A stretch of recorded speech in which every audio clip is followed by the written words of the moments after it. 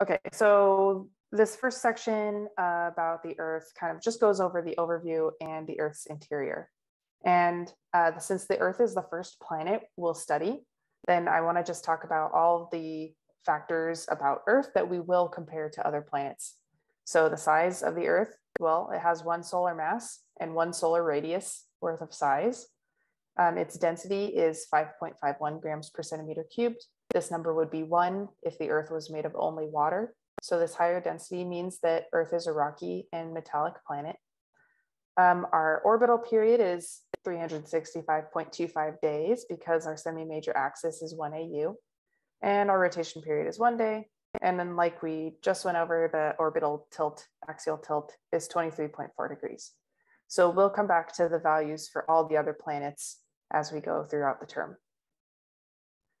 All right, so um, when we look inside the Earth, we talked about last time that as planets formed, um, they were basically in an environment of constant collision early in the solar system. And so our early planetesimals were basically just hot balls of molten rock.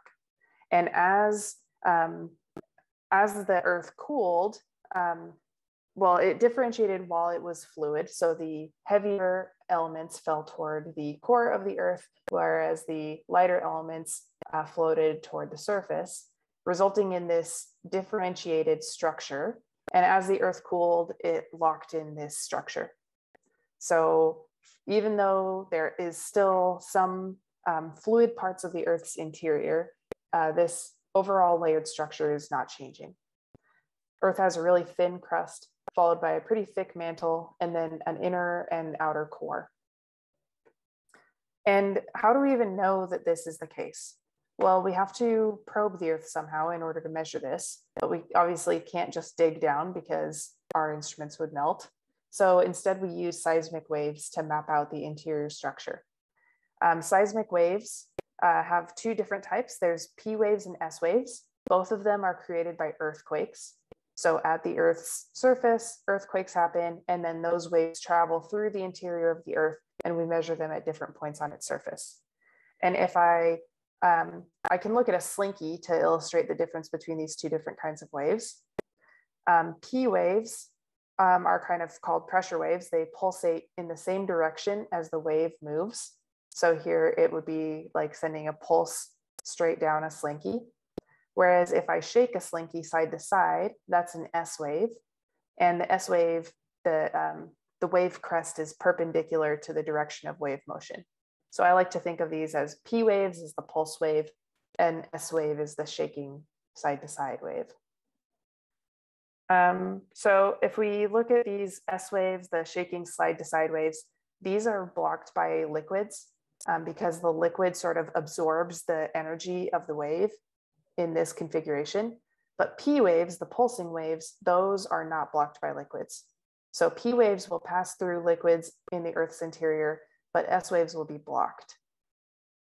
They also have different travel times, which is helpful because then we can measure the timing of when waves created by the same earthquake reach different locations on Earth. That gives us info about the sizes of things in the interior. Okay, so I'm going to show you a complicated graphic, but it's not as complicated as you think. Let's let our S waves be these little pink waves and the P waves are these straight blue lines.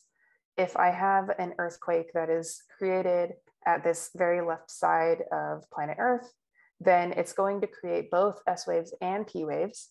And if I have a bunch of different people all over the planet measure when those waves get there and what kind of waves they receive, then I can map out the interior structure of the Earth.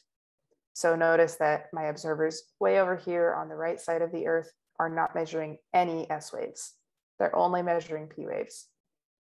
But for some of our observers closer to the epicenter of our earthquake, they're receiving both kinds of waves.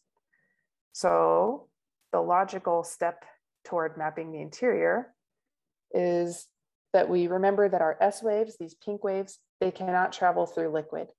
So what, is, what does this mean about the composition of our outer core? Okay, it looks like now we are unanimously in agreement that if the S waves can't travel through liquid, Well, it looks like they're not traveling through the outer core, so the outer core must be made of liquid. So this is correct. Um, the mantle is also somewhat fluid, um, but it's a, little bit complicated. The mantle still has some motion in it, but it's not a, a liquid in the same way that the outer core is. So this liquid outer core is really important because this is what's responsible for creating Earth's magnetic field.